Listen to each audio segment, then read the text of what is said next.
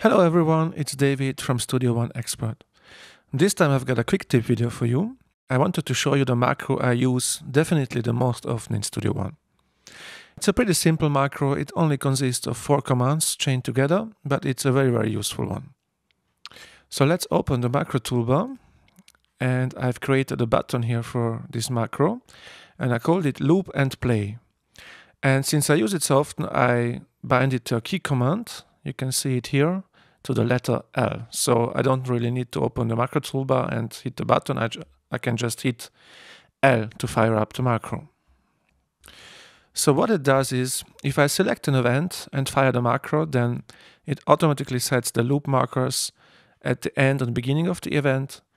It turns the loop on and it starts the playback. So it looks like this.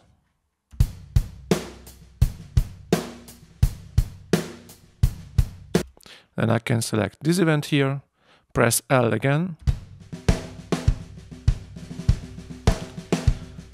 And I can also do it during playback. I can just select this and go here.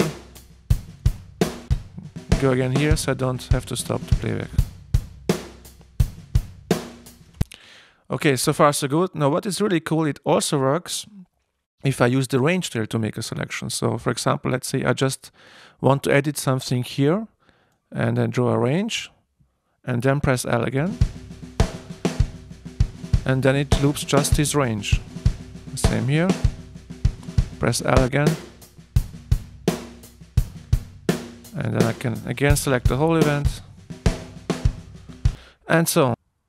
Now let's have a look what uh, commands you need to create this macro yourself. Let's go to the macro organizer and we have it here, loop and play. Let's click edit. And now you can see the four commands. Actually, you only need three commands. The last one is just optional and up to taste. So, but first you need this command transport loop selection.